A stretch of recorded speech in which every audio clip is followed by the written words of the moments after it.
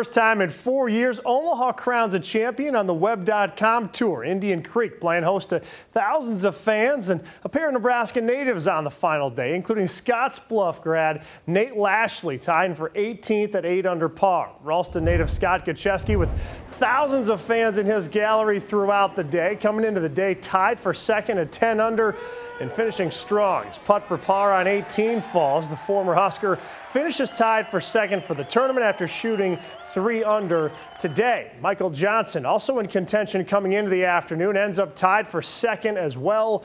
Four under on the day, wrapping up with a par. Overall, four players tied for second, but everybody chasing this guy. Sam Ryder leading from start to finish. The Florida native taps in to end for 21 under par for the tournament, beats the field by eight strokes. It's the first Web.com tour win for Ryder, who has four other top 10 finishes this season.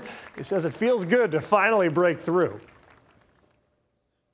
It's just something that I've you know, been working towards for a long time. And like I said, it just feels like a little bit of a monkey off my back because I've been close and I had some close calls to winning. And uh, this is kind of just the beginning of the journey for me.